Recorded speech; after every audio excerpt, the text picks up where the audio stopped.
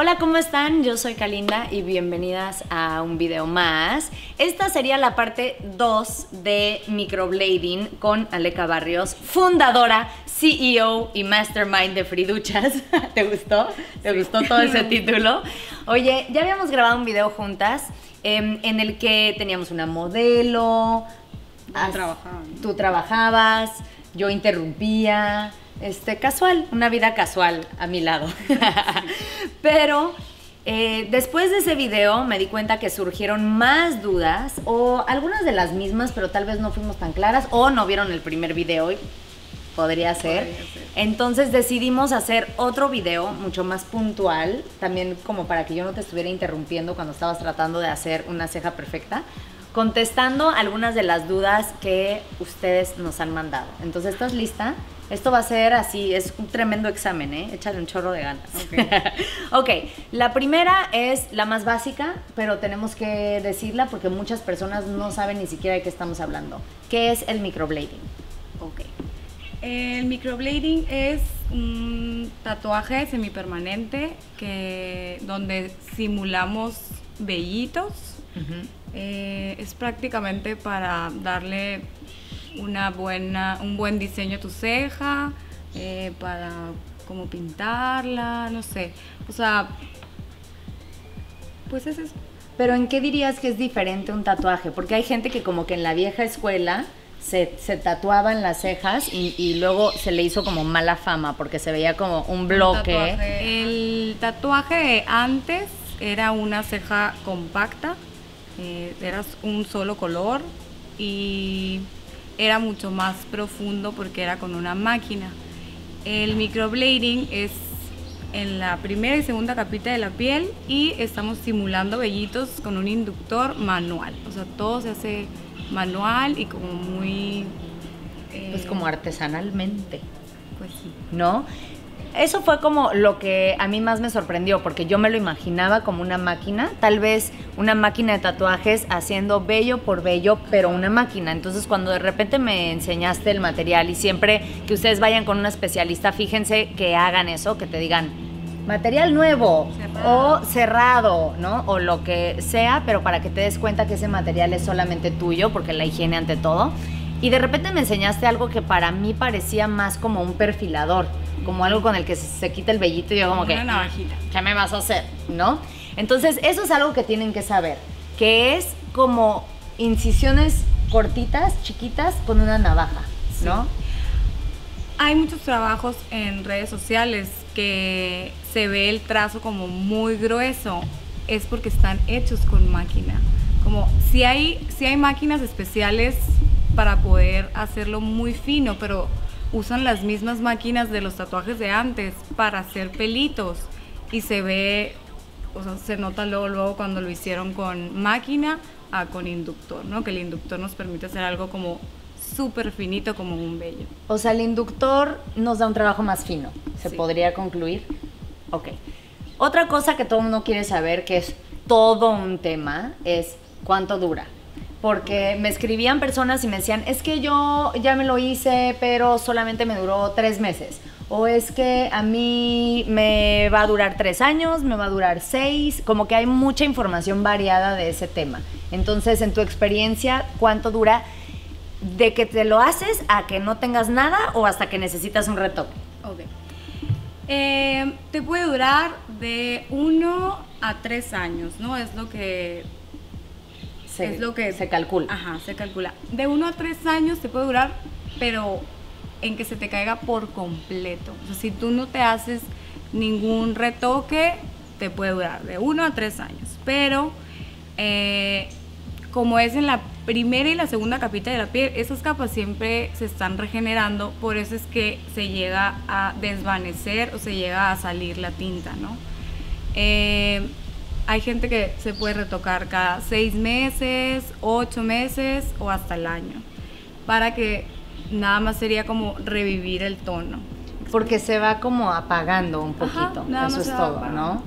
Ok. Sí, pero sí, o sea, se te podría borrar en tres años, se te podría O sea, si te hicieron una chamba horrenda, en tres años ya eres un canvas listo otra vez. pues tendría yo que, o sea, tendríamos que ver qué tintas usaron, Ah. qué profundidad, a qué profundidad llegaron de la piel, porque si ya está muy profundo, ahí sí ya no podría yo. Garantizar nata Pero bueno, como yo lo hago, sí es de uno a tres. a tres años. Lo cual nos lleva a la siguiente, que es qué tintas se usan. Son diferentes las tintas que se usaban de uh, del tatuaje de antes, que eventualmente luego veías gente con la ceja de que verde o, o azul.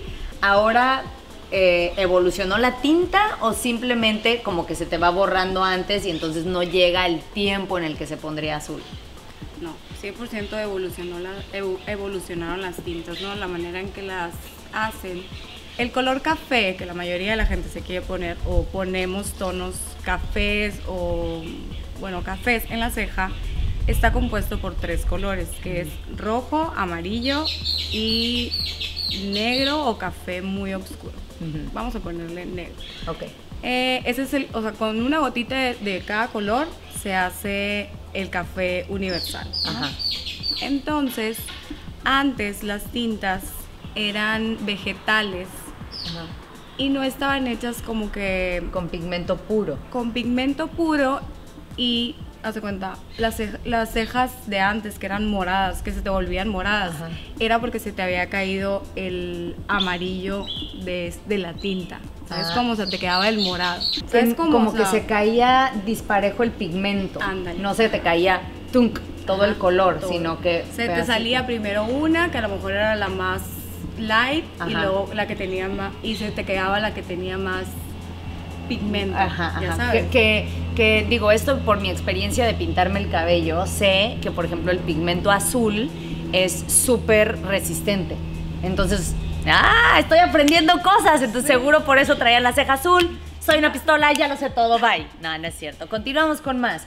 Mucha gente quiere saber si estas tintas de ahora son veganas, porque en este movimiento vegano no solamente está en la comida, sino que ha permeado a la moda, al maquillaje. Yo tengo un as bajo la manga espectacular de mala onda, que es porque tengo a varias personas que conozco en mi vida que son veganas, así insoportablemente veganas, o sea, en el sentido de que son como muy veganas, veganas, veganas, pero están llenos de tatuajes y les digo, ah, si sabías que tu tinta no es vegana, a menos que lo pidas de esa manera. Y muy pocos tatuadores tatúan con tinta vegana, entonces me hace súper simpático nada más echarles esa información de vez en cuando. Pero ¿qué pasa con el de cejas? ¿Es una tinta vegana o existe una opción vegana o cómo se hace? No. Eh, las tintas que yo utilizo son 100% veganas, eh, no están probadas en animales, eh, no las sacamos de ningún animal y em, en más de un millón de casos nunca ha habido una reacción alérgica. Ok, son muy sí, nobles entonces esas. 100%. Ok, Y bueno, lo que te estaba diciendo Ah. ahorita de los colores, estas tintas están hechas en laboratorios y tienen la porción exacta de los tres colores para que se te vaya degradando el tono y no se te quede Uno el el rojo, otro. el amarillo, el azul, o sea, para que solamente se vayan. yendo todas, como fade out, así como Al canción, al mismo tiempo. ¿Quieren saber la pregunta que más, más, más, más, más, más, más llegó? Fue, ¿duele? Y me imagino que también es lo que a ti más te pregunta cuando llega una clienta, ¿no? Sí. Es, ¿duele? Y Sí. a mí es lo que más me preguntan. Creo ¿Cuál es que ya cuando llegan ya las, o sea, las super, o sea, los super noto que tienen miedo porque me va a doler. Ya ni tanto el cómo me va a quedar, sino el me va a doler, ya sabes. Una ceja aquí y Sí. la otra aquí, pero les puede como que si les va a doler. Sí. Eh, la verdad, a la mayoría de mis clientas no les duele.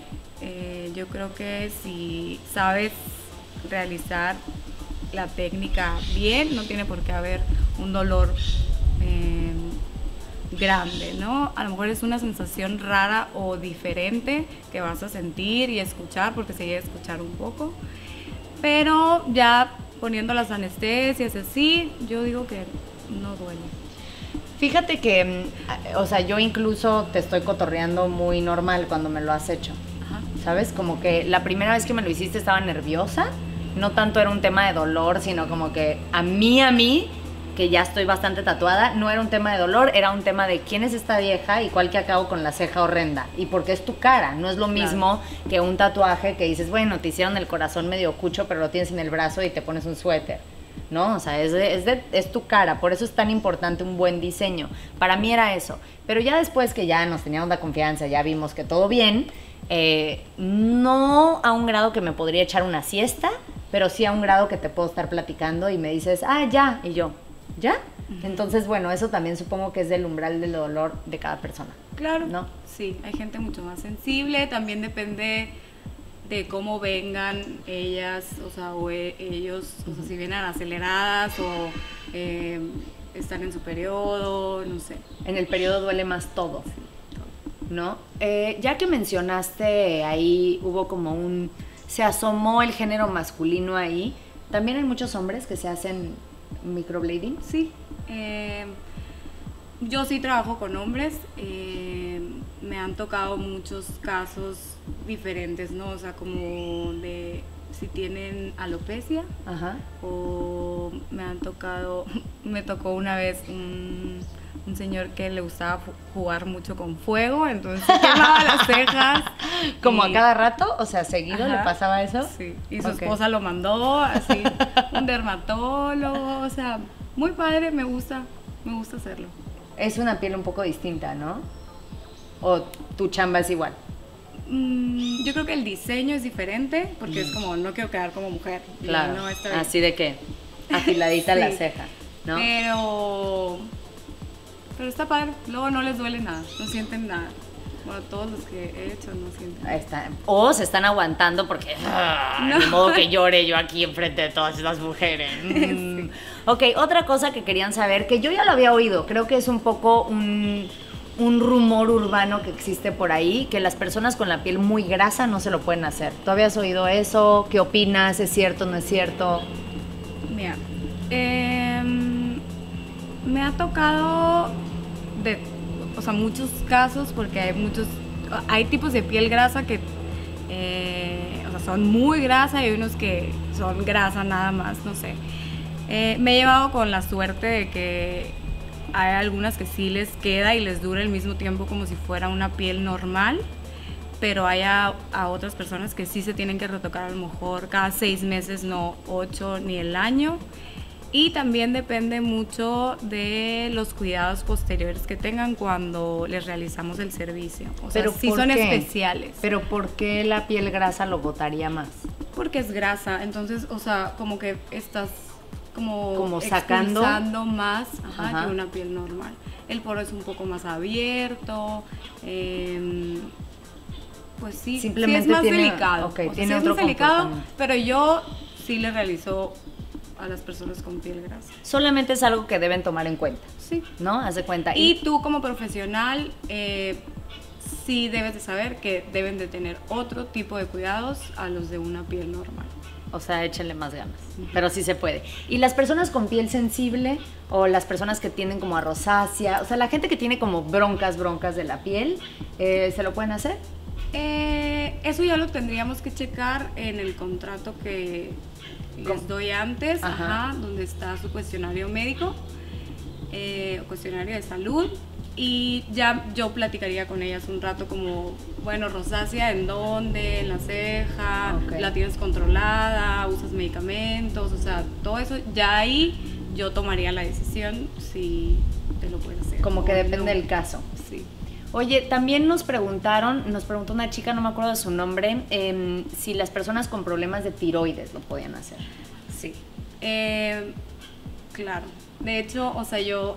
Eh, o sea, he tenido clientas ya de muchos años que les, cuando veo que se les está cayendo la ceja, les, les pregunto si se han ido a checar de la tiroides, porque una de las em, como de los señales de que te está dando la tiroides es que se te empieza a caer el vellito del rostro. O sea, entonces a veces ellas ni se han dado cuenta y tú les dices como que oye ve y chécate esto Sí, entonces pues está padre, ¿no? O siempre que veo que llegan sin ceja y leo el cuestionario de salud de que tiro y decir ah, ok. Pero no hay problema a la hora de hacérselas. Ok, no, es contraindicado. También em, una de las preguntas que tú querías que incluyéramos era las personas que tienen o que han tenido cáncer, quimioterapia, eh, algo que, alguna condición médica donde se les cae el vello. ¿Eso se incluye como con la tiroides? O sea, ¿no hay bronca o No. es diferente? No, el tema del cáncer sí es, es diferente. Cuando las personas están en tratamiento no se les puede realizar porque pues están entrando muchos químicos a su cuerpo y como que agregarle más.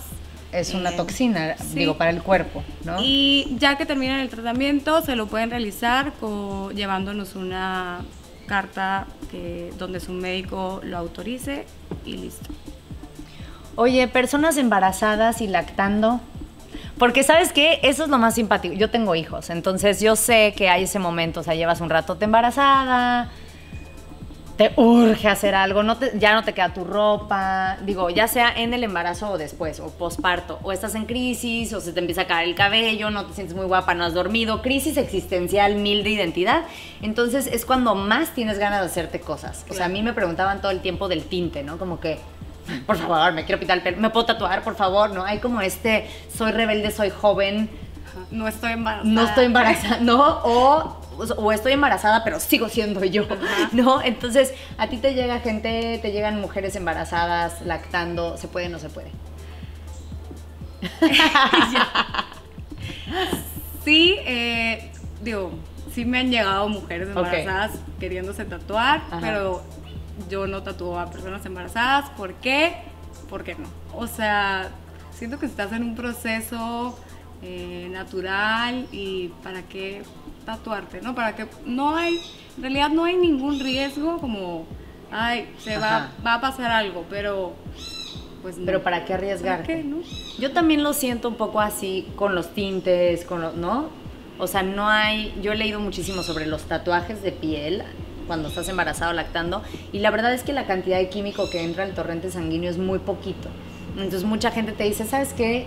X, no te preocupes. Pero por el otro lado, yo opino que te puedes esperar unos meses, tampoco es el fin del mundo, ¿no? Y, y, y, y que cuando no has dormido en tipo un año, no debes tomar ningún tipo de decisiones permanentes. Así de que, Bueno, eso ya es experiencia. pero es que es tuya. la neta, ¿no? O sea, de repente de que voy a pintar esa pared y luego te das cuenta que no era buena idea pintar esa pared y que nada más lo estabas tomando desde una parte exhausta de tu ser. Entonces no lo hagas. Eh, lactando, O, lactando. sí lo hacemos. Ok. Eh, nada más les pedimos a nuestros clientes que hagan un banco de leche de 24 horas O sea, que tiren por la prevención. Ok. Siguiente, que está junto con pegado con la siguiente. ¿A partir de qué edad se recomienda y se puede hacer en niños? Ok. A, ver, ¿a partir de qué edad se recomienda? Pues no, no hay una edad. Eh, creo que hay diferentes casos por lo que te lo quieras hacer, ya sea eh, de belleza o para mejorar algo o, o por salud o por bueno, salud como No, salud por- emocional. o ah, salud de que bueno se te cayó la ceja y antes sí Ah, tenías y ahora quieres ponerte ceja no Ok. O sea, em, pero no no hay una edad que recomiendo Obviamente, si eres menor de edad, tienes que ir acompañada de tus Claro. papás y que ellos firmen la responsiva. O sea, acuérdate que también es un procedimiento donde todo el mundo se tiene que proteger legalmente y entonces tampoco ustedes como empresa van a ser irresponsables al respecto, ¿no? 100%. Cuando me llegó la pregunta a mí de que, oye, mi hija, yo se lo quiero hacer a mi hija de 8 años, ¿se podrá hacer? Yo, yo que no entendía bien en qué caso se tendría que hacer, yo como que digo, ¿cómo? O sea, al final del día estás tatuando una niña y se me hace a mí muy extraño eso. Pero luego tú me comentaste otra cosa, ¿no?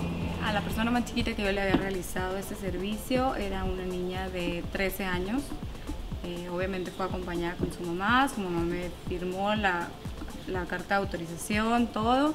Lo hicimos porque ella recibía mucho bullying en la escuela por no tener ceja, entonces se me hizo padre que la mamá tomara o tomara la decisión y yo poder ayudar en eso, ¿no? Porque de verdad sí ya ha regresado a sus retoques así de que wow, o sea, la mamá me O sea, dice, le cambió la vida". cambiaste la vida, sí. O sea, no la dejaste como en Bibi Gaitán, fuiste mucho más No, tranqui, claro, ajá, ¿no? Nada más es como Como que ponerle Poquitos, tantito. ajá. Lo cual me lleva a lo siguiente, que si ustedes no han visto el primer video que hicimos Aleca y yo, pónganle pausa a este. Bueno, no es cierto. Terminen de ver este y luego vayan a buscar el otro, que es ¿qué pasa si no hay vello previo? Porque a la modelo que se lo hicimos, a mi amiga Julie, ella casi no tenía nada de vello y le daba mucho miedo que le quedara ese bloque del que hablábamos que se hacía en los viejos tiempos, porque además ella era muy rubia. Pero muchas personas me preguntaron lo mismo, me dijeron, ¿qué tal si yo no tengo nada? ¿Sí se ve natural o sí se ve muy puesta? No, sí se ve natural, eh, solamente yo siempre les platico, ¿no? O sea, se te va a ver, o sea, yo lo que voy a hacer es hacerte una ceja, eh, pero sí vas a tener a lo mejor que pintarte un poquito, porque a pesar de que yo tengo vellitos en la ceja y tengo el microblading, o sea, es como ahí estaba sustituyendo la pintura, ¿no? El maquillaje. Ajá. Entonces, ahora las personas que no tienen ceja, nada más vamos a hacerles un buen diseño, una ceja y ellas a lo mejor se pueden pintar un poquito.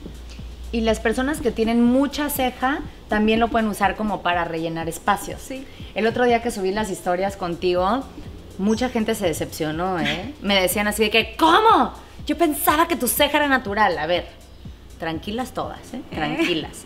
Sí, tengo, tengo ceja la que ustedes ven. Lo que pasa es que Aleca me dio más forma Claro. y me rellenó algunos espacios. A partir de que tú me lo hiciste, ya no me, yo, yo, no me maquilló nada la ceja, porque yo ya tengo. Entonces Claro. como que encima con la forma que me diste, como que ya no me hace falta, ¿no? Pero muchas personas tenían esa duda, me decían, es que yo tengo mucha, ¿le puedo dar forma o puedo llenar espacios? Sí. Claro. ¿Verdad? Es, o sea, para todas las personas funciona diferente. O sea, no es como que tú sí, tú no. O sea, todas sí, pero va a ser diferente el resultado, ¿no? ¿Y cómo es que concluyes el diseño? O sea, cuando a mí me lo hiciste, me acuerdo que, o sea, obviamente la primera vez no los retoques. Haz de cuenta que me hiciste un estudio, el más detallado de toda la vida, cero me traumé, no crean. En donde de que regla, regla, compás, no sé qué, medida, rayita, otra rayita, no sé qué. Ah, o sea, ya se dio cuenta que estoy chueca. ¿No? Pero en base a qué se hace? A la forma de la ceja que ya tienes, a la forma de tu cara, a lo que está de moda, a lo que llegan y te piden, a una foto que llegan y dicen yo quiero la ceja así, así No. quiero que me la. Todo eso no, eso. eso no, ok. Sí. Esa no, esa no. No, O sea, a no menos de que sea como de que, ah, vi una ceja que hiciste y que Ok. me la enseñen. Pero yo no puedo llegar así de que quiero ser Bibi Gaitán. No. ¿Por qué no? Porque el diseño se hace acorde A a, la tu cara. morfología de la cara, o sea, a tu rostro, Ajá. según tu rostro, facciones y yo sí le meto gusto, ¿no? O sea, si tú me dices como que se te antojaría un poquito diferente o un poquito más gruesa y así, pero obviamente lo tuviera que platicar. O sea, ya estando ahí lo platicamos y siendo sincera, pues sí te diría, si te queda, no te queda, te vas a ver, te ves bien o no sé. O sea, tampoco dejarías que... O sea, no hay tanto que negociar. Pues no, porque tu rostro y me- las medidas me lo dan, ¿no? Ok. Y tu ceja natural, obviamente, sí, sí me baso en tu ceja natural. No es como que te voy a inventar algo que no te queda. Está bien. Está bien. Y las personas con cicatrización queloide, eso me acuerdo que estaba en tu cuestionario, bueno, en tu de este médico. Em, la cicatrización queloide, para las personas que no lo sepan, es cuando se te hace como, como una bolita, ¿no? O cu- cuando no cicatrizas como parejito. Eh, eso es algo que no mucha gente sabe. Hay dos tipos, bueno, hay tres tipos de cicatrización, ¿no? La normal, eh, hipertrófica y queloide. La mayoría tiene hipertrófica, pero se confunden con la queloide. ¿Cuál es la hipertrófica? La hipertrófica es como, como una cicatrización, o sea, como, Como cuando se te expande un poquito, como que sale de la, de la cicatriz Ajá. y se ve así como... Como un como si pancake encima. No, como una estría, Ok.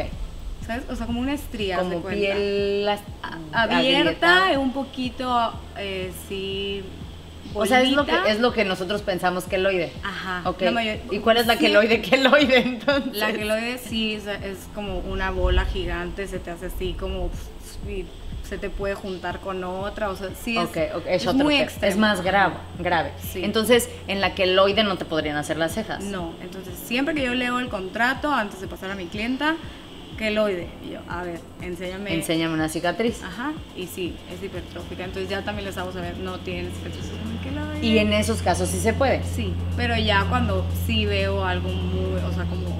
Ya la bola, ya dices, es no, ya no se va a poder. Ok. ¿Qué pasa en la relación de las cejas con el Botox? Porque muchas personas eh, cuando se ponen Botox, por ejemplo, piden que les levanten la ceja. Claro. Y entonces quedan así, yo digo que un poco de beach face, ¿no? Como que un poquito así, que creen que se ven guapísimis, pero se ven como que están a punto de regañarte o ser la villana de una peli. Ajá. Así. Y entonces, cuando llega alguien que tú te das cuenta, porque un poquito sí se nota, ¿no? Entonces, cuando llega alguien y ya trae así como la ceja así, ¿sigues esa línea o les haces una línea por abajo? ¿O cómo es negociable el tema del diseño cuando alguien está ya muy talacheado? el, el diseño, ¿no? O sea, sí me tardo Más. más. Ajá.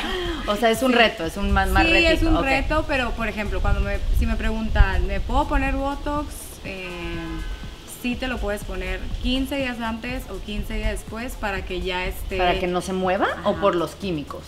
No, para que no se mueva, nada Ok, más, para yo poder hacer el- el- un diseño. De la misma manera los dermatólogos también, como que te dicen, dale chance a tu Botox antes de ponerte ceja o hazte la ceja y después ya vienes y ya ven que levantan. O sea, al final termina siendo un trabajo en conjunto sin ustedes saberlo. Sí. ¿No? O también si es como llegan a su retoque y traen la ceja chueca y yo, yo no te había hecho esto, ya sabes, y de que, no, pues ahora le dices a tu doctor que te ponga tantito aquí porque me movió esto, ya sabes, entonces sí es. Tú de que, mm, mm, mm. Ok, las personas que llegan, que ya tienen una chamba previa, algo que, ¿no?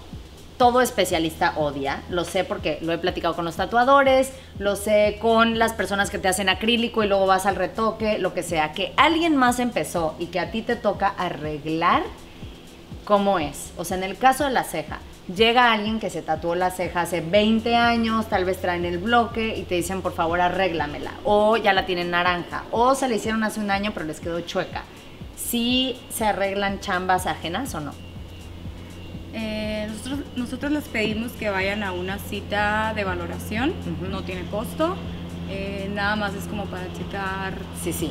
cada cuan- o sea, los trabajos que traen, si son candidatas, si podemos heredar ese trabajo, porque eh, te comentaba ahorita, em, si es a lo mejor un trabajo mal, el diseño mal hecho, las tintas no las conocemos, eh, no saben qué material usaron, nada, ¿no? Entonces sí es como Pues es Cualquier heredar una cosa- mala chamba. Ajá. Cualquier cosa que quede mal ya es de nosotras, ¿no? O sea- Automáticamente se vuelve.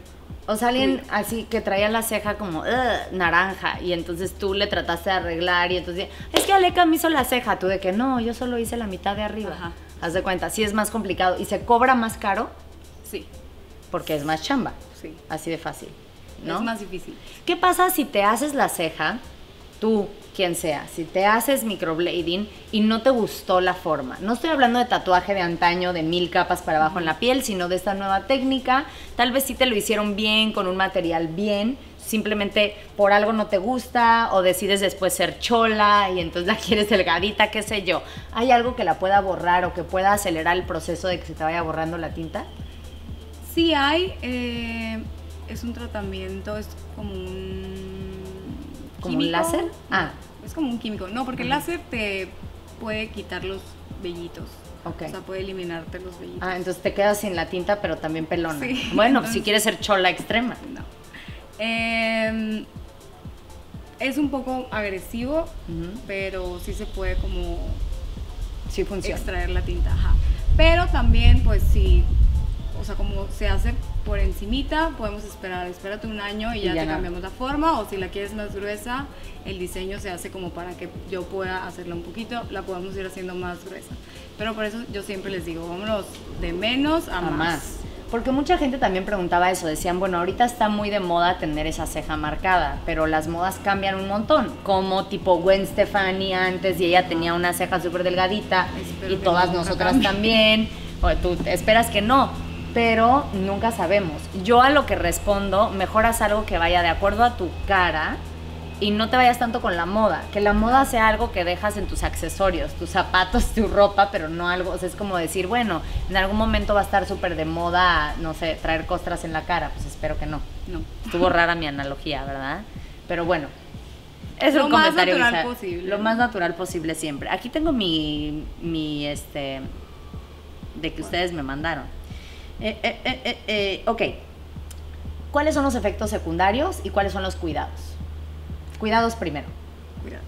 Ok. Es, es estarte aplicando una pomadita que te deben de dar en el lugar donde te lo realices, lavarte, es como si fuera una herida.